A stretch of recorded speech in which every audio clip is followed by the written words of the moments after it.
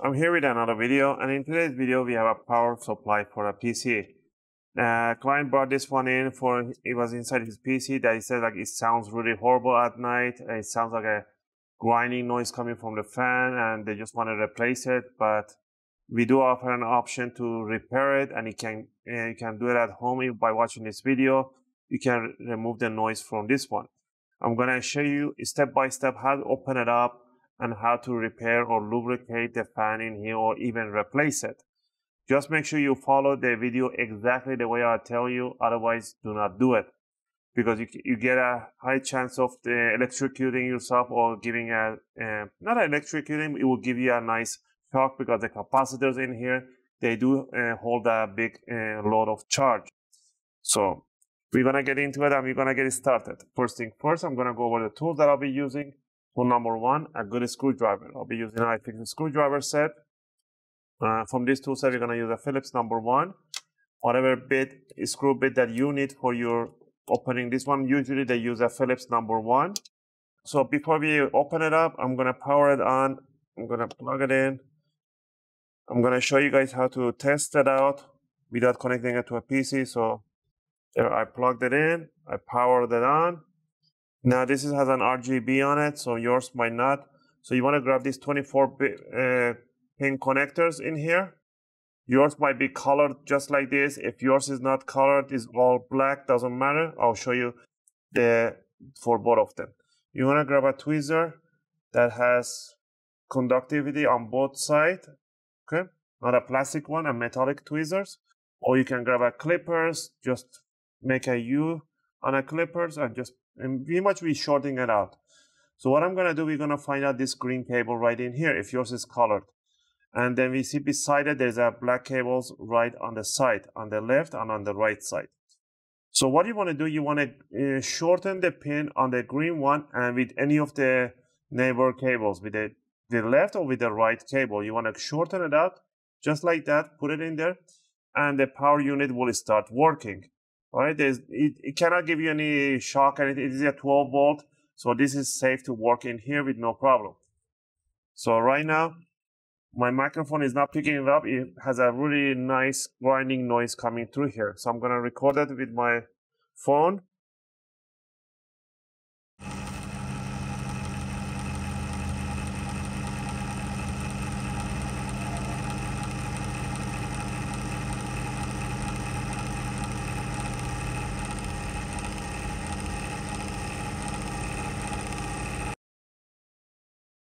So you hear that noise coming from me. It's really annoying when your room is really quiet. That's really annoying. So what are we going to do first? Now, eh, this is for the colored eh, 24 pin. Now, let's say that yours is not colored. You want to count where you have this hook right in here. You want to face the hook facing you. From the right side, you want to go one, two, three, four. The fourth one is the green one. So you want to shorten the fourth one with the third or with the fifth one. So if yours is all cables are black with most of the power supplies now, so you want to count with this jack connector facing you, and you want to count from the right, one, two, three, four. Then you want to shorten the fourth one with the fifth, or the fourth one with the third one. That way, you can power on the power unit, power supply. All right. Once you remove it, it will just shuts down. Right, we're going to disconnect it. Now that we disconnected, there is still some power left in the capacitors inside the power unit. We need to discharge them completely. So once it's disconnected, you want to grab this power stop, the same connector, and you want to shorten again. And just shorten it up and leave it there.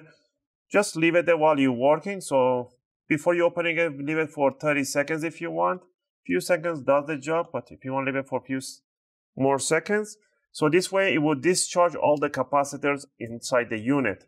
So there's no uh, risk of uh, getting electrocuted in there. I'm to leave it right there, connected. Now, uh, we're to remove the top part. We are to look around. Yours might have a screw on the side in here.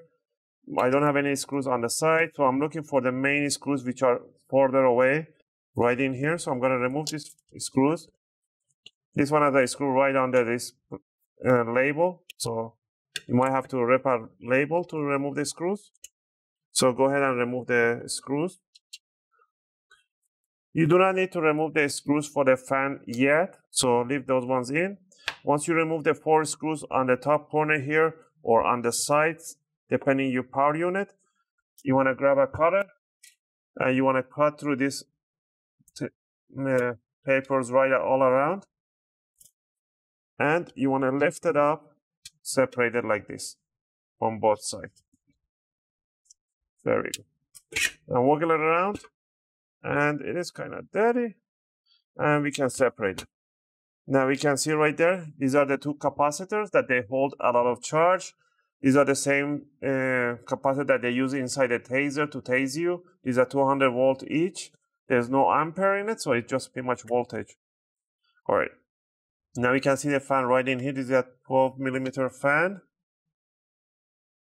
All right, so I can see this fan comes the cable to the board and I can see it is a jack right there. So I can pull this cable out and it will get disconnected. Yours might not have a jack on it, so you have to work with the fan while it's plugged. So you just have to be connected like this. So I'm gonna disconnect mine. I'm gonna flip it over. We're gonna remove the screws for the fan. I like to put a workshop towel underneath so Oh, they have a little washers here to separate the fan a little bit. I don't know why, but all right. You can buy a new fan if you don't want to service yours. You can just get a new uh, Noctua fan, but make sure it has only two cables, and you can just connect it in there. If yours comes with a cable with no headers, you can just cut them, put a just solder with a uh, red with the red, black with black, positive and negative, and you can put it in. But if you want to save some money, you can just service it. So we're going to remove these risers. All right, now that we have the fan, we're going to look at the back of the fan. We're going to see this label. You want to lift up the label. So grab it from one corner and just peel it off gently. If yours just this is um, the model for the fan, you don't have to get the exact same model. Has to be a has to be a 12 volt fan, 12 inch, 12 millimeters. I mean. Next, we're gonna grab a tweezers, and at the back we're gonna see this rubber cover here. We're gonna puncture through that rubber cover, and we're gonna lift it up. So that's your rubber cover. Once you remove it, and down in there, I'm going to see that there is a little C-lock, uh, plastic C-lock. That plastic C-lock is right there, this white one right there, has a little cut in one corner. You have to find that cut that it has. Right there is not noticeable. There. And you want to lift it up, separate it together. So I'm going to zoom in. So what I'm going to do, I'm going to grab a two tweezers so I can work better so you guys can see. So we are going to try to open up this C-lock. So I'm going to separate this C-lock.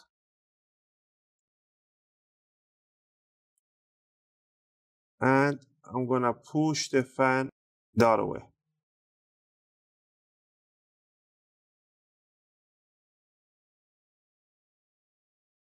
Trying to open up this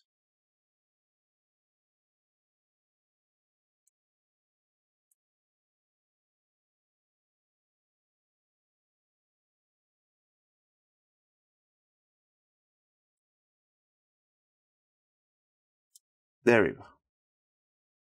So, so this is the C-lock I was talking about. Let me see if it's gonna focus. Has a little cut to one side. So pretty much you have to open it up a little bit. Once it's opened up, let me see. There. Let me open it. There. Once you open it up, and you can just drop the fan on the other side. Just don't lose the C-lock. And there's a little plastic in here, washer. This plastic washer, you want to clean it up with an alcohol. You want to put it back on. So now we have the fan and we're going to clean it up. We're going to grab a one sheet of the workshop towel. I'm going to use an isopropyl or alcohol. You can use any type of alcohol that you want. And we're gonna just clean the inside of the fan. Just make sure you remove all those. Look at this hair is inside. There's another plastic washer in there. And there's a whole bunch of the hair coming out with it. Look at all those hair. So we do need this plastic washer, but there's a whole bunch of. I hope it's not a pube hair. Alright, there. We're gonna remove this one. And we are gonna dump the rest of the hair out. Right, and then we're gonna keep cleaning up the fan a little bit. Put an alcohol in there and clean the rod in the middle. We're to make sure that the old grease, everything is done. You can take the fan outside and clean it up nicely if you want. As I'm just not to waste the video time in here. So once I clean that one in there, you can grab a Q-tip. Grab one Q-tip, soak it in an alcohol and you want to clean the inside of the where the C-lock goes. Make sure it's nice and clean. And clean up this side. And remove any hair or any dust that is in here too. Alright, now that we cleaned it up, what I'm gonna do, I'm gonna put this first washer right on the pan right there. You have to improvise. Not all the fans have these uh, washers in there, stuff like that. I'm gonna grab a three-in-one uh, oil lubricant. You can grab a motor lubricant, any type of oil that you like. All right, so I'm putting one drop right in there, and I'm gonna put drop it right on the fan. I'm gonna do a few turns in and out, so it just pretty much lubricates.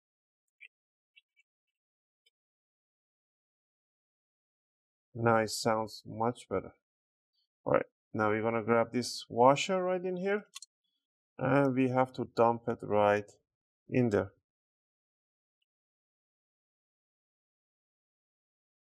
All right, the C-lock, you wanna grab the C-lock, you wanna put it right on top of this. And then gently you wanna grab from the side, wash it while I'm holding the fan from the other side so it doesn't go down I'm pushing the C-lock, it's gonna open and it's just gonna close itself. There you go. Once it's in there, all you wanna do, drop one drop in there. There you go. That's more than enough. And do a few turns, left and right. And you wanna grab a little alcohol. Just clean the top portion and grab this rubber, put it right on top so the oil doesn't come out.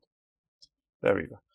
If you want to, you can put the sticker back on, but if you don't, it's okay. You can grab a foil tape, put it on top because this one is not sticky. It can just get ripped and it just go all over the place, but mine is kind of sticky still. I'm going to put it on. There we go. All right, now that we lubricated the fan, cleaned it up nicely, what are we gonna do?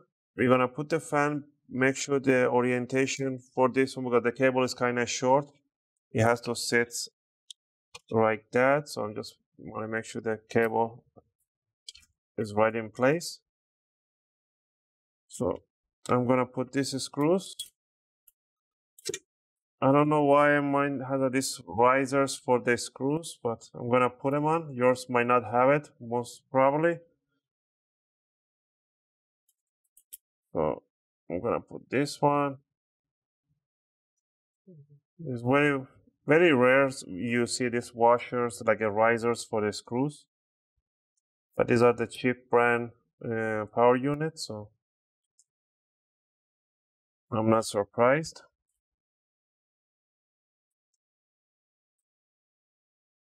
All right, So let's grab this one here.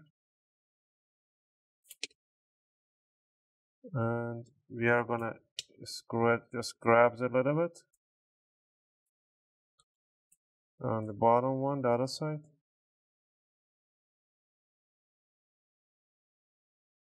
Alright, so we're gonna grab the power unit. We're gonna push in the connector. Alright, grab the fan, put it in there, and put the four screws for the cover. I dropped one screw right in there. I'm gonna open it up so I can remove that screw. There we go. You don't want to drop a screws right in there.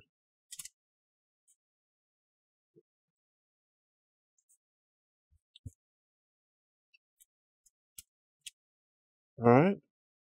Now let's put the four screws and we're to power it on and we're to check the sound right after this one. Let's get the power unit cable plugged in. Oh, okay. It just turned on, so yeah. I'm gonna.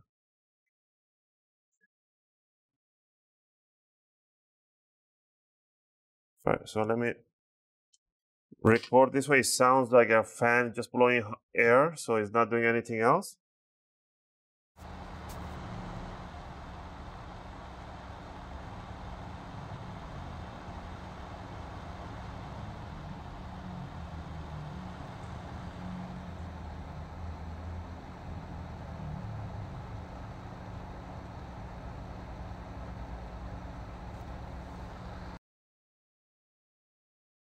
Right.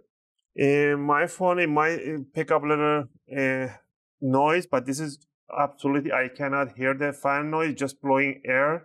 I can hear the air go sucking in and coming out, just a normal noise that comes with the pressure of the air, but there's no more grinding noise, anything like that. I'm just gonna put after or before noise so you can, can listen to it. Again, uh, I hope you guys like this video and helped you guys to service your fan for your power supply. If you guys have any questions or requests, feel free to leave them in a video comment. I'll try to answer them as soon as I can. As always, thanks for watching and I'll see you guys in my next video.